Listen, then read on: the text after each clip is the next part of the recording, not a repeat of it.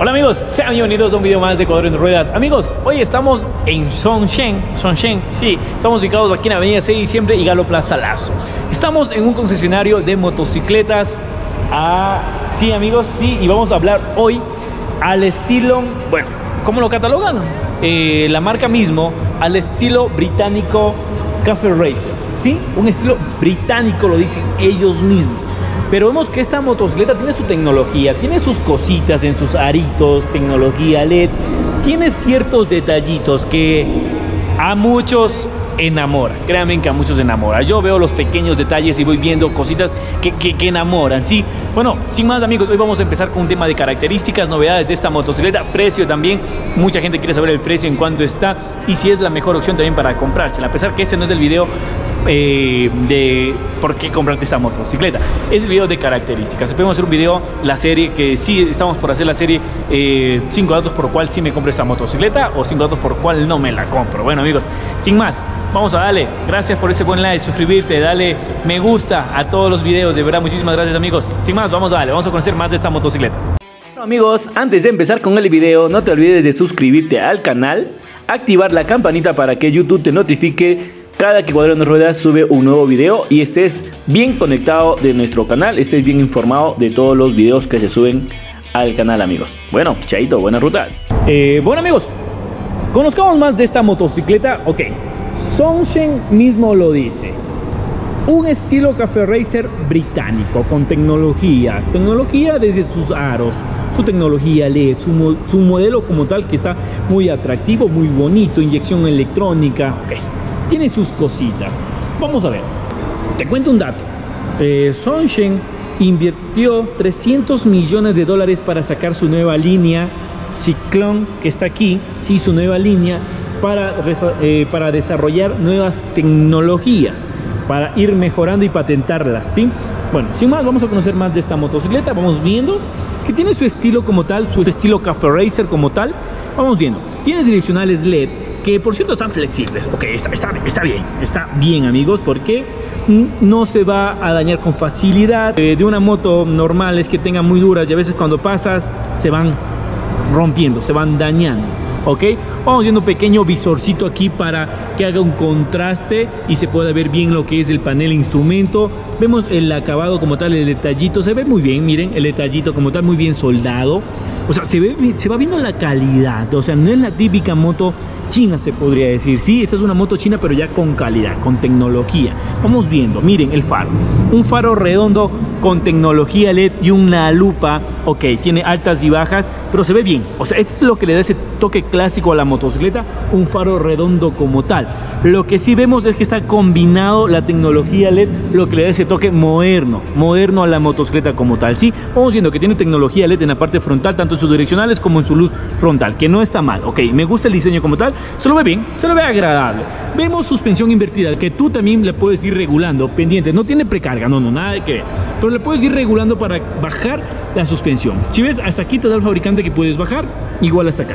Puedes bajar esto un poco, hay personas que no alcanzan y les gusta, les apasiona las motocicletas. Ok, en esta motocicleta vas a poder bajar un poquito más la suspensión. Vemos el acabado como tal, como digo, está bastante bien. Se ven los detallitos, se ven los pequeños detalles muy bien trabajados. Vemos un guardafango de plástico, obvio para aliviar. Sus bases también son de plástico, las basecitas que están aquí. Ok, está bien. Vamos a ver.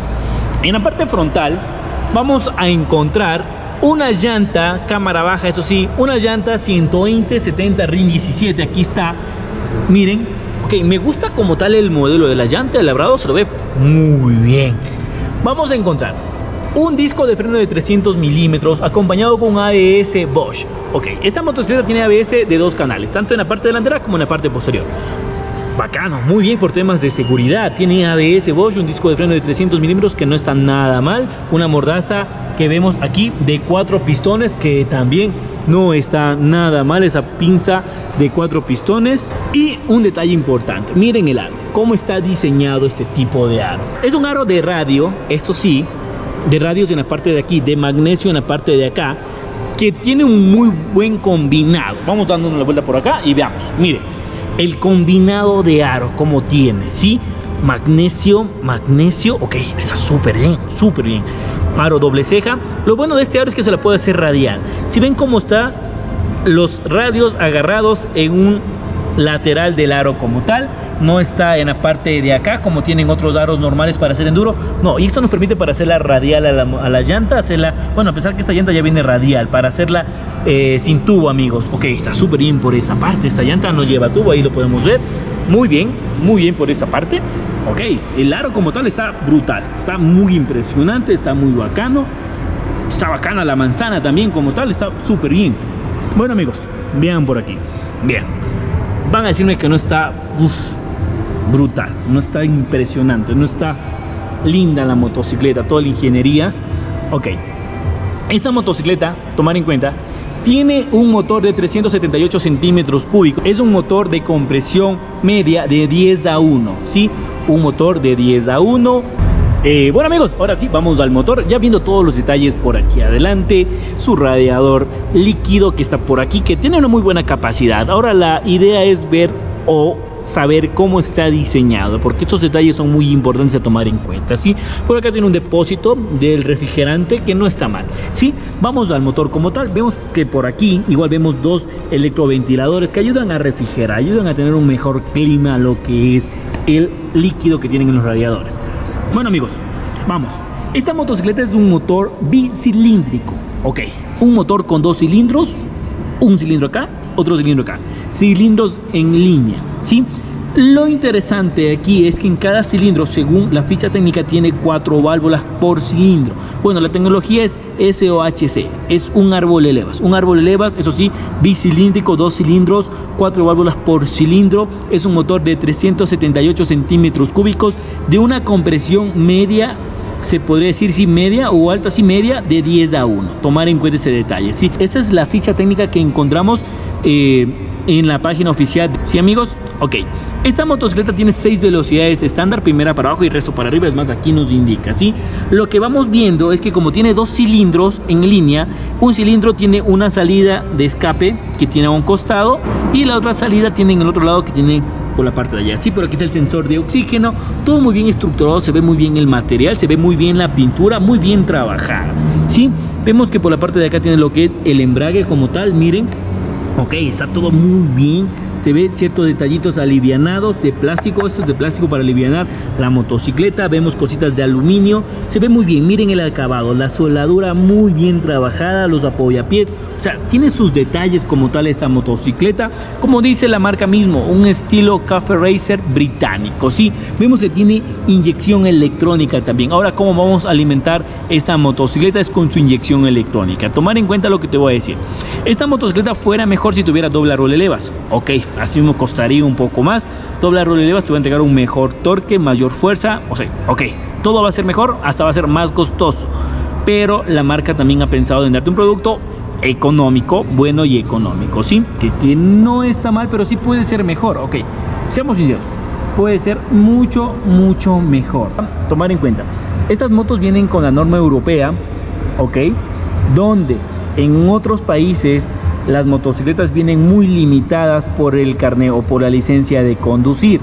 Ok, acá en Ecuador no tenemos esa categoría de licencias todavía habilitadas, se podría decir, donde eh, nos afecta, por esa parte nos afecta, porque las motos vienen con las normas europeas, donde nos indican esto, que la motocicleta como es un motor, digamos 400, ok, viene con ciertas restricciones, le limitan, le entregan menos, menos fuerza.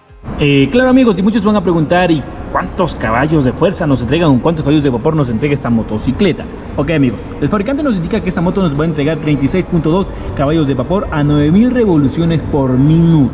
Y no está mal, pero sí puede ser mejor si tuviera el doble árbol de leva. Sí podría, puede ser mucho mejor. Y tiene un torque máximo de 35 Newton metro a 6500 vueltas, ¿sí? A 6500 revoluciones por minuto que no está mal. Vemos sus dos salidas, que está con esta acero inoxidable, por acá también tiene su sensor de oxígeno. Miren por aquí está la bomba de agua, donde sale el agua. Ok, donde hace todo el trabajo que tiene que hacer. Está bien. Miren, este edificio de aquí, no sé si logran ver, es cuando llueve, a veces suele entrar agüita aquí en el cilindro, en la parte de aquí y por aquí, perdón, el cabezote, y por aquí sale el agüita, ¿sí? Eso es normal, igual se evapora con el calor. Tomar en cuenta que el tensor del deslizador de cadenilla lo tiene adentro eh, entre la mitad de los dos cilindros para que tense la cadenilla, que todo está muy bien estructurado, estos motores son a cadenillas, amigos, por si acaso. Miren, aquí, aquí está su inyección electrónica, ¿sí? Tiene dos bombas de inyección, perdón, tiene lo que es dos mariposas, claro, uno tiene una toma de acá, otro tiene una toma de allá, pero de ahí todo está muy bien, muy bien diseñado, esta moto solo tiene encendido eléctrico, vemos que por aquí tiene el nivel de aceite para poder ver con tranquilidad, con facilidad, se podría decir así, todo se lo ve muy bien, o sea, se ve muy bien el componente como tal, combinado de colores, muy bien, se ve muy bien el tanquecito. Tomar en cuenta que estas motos no tienen reserva porque son con inyección electrónica, amigos. Tomar en cuenta el detalle que les voy a dar. Según el fabricante, esta moto te va a dar un promedio de 138 kilómetros. Eh, tomar en cuenta el detalle que les voy a dar. Según el fabricante, esta moto, el top speed es de 138 kilómetros por hora. Que a ver, estas motos como digo vienen limitadas, vienen con las normas europeas, vienen limitadas tanto en su velocidad, en su torque, eh, puede ser mejor, liberándola puede dar mucho, mucha más velocidad, amigos, ¿sí? Tomando en cuenta que esta motocicleta, la distancia al suelo es de 144 milímetros, ¿sí? Del asiento al suelo. Tomar en cuenta que también tiene 19 litros, 19 litros en ese depósito de combustible aquí. 19 litros de mucha felicidad, que no está mal. Sí está bien, 19 litros es prudente, está grande, está algo grande, amigos. Por acá vamos viendo en la parte de atrás vemos lo que es un disco de freno con ABS, ABS Bosch, igual que adelante, ABS doble canal, Bosch. Eso sí, miren el diseño como tal, lo tienen aparte de acá abajo, no lo tiene acá arriba como otras motocicletas convencionales. Aquí está, miren, todo muy bien. Este escape que tiene aquí es del otro cilindro, como había mencionado, es de dos cilindros. Un escape tiene un costado, el otro tiene otro costado. O sea, pero se ve muy bien, muy bien los detallitos, muy bien, miren la suspensión, los resortes, son detalles muy importantes a tomar en cuenta. Un detalle también que me estaba olvidando, el peso. Miren, esta motocicleta pesa 184 kilos. ¡Qué guau, guau, guau, guau! Eh, está, está bien. Hay motos que pesan mucho más, pesan 200 kilos.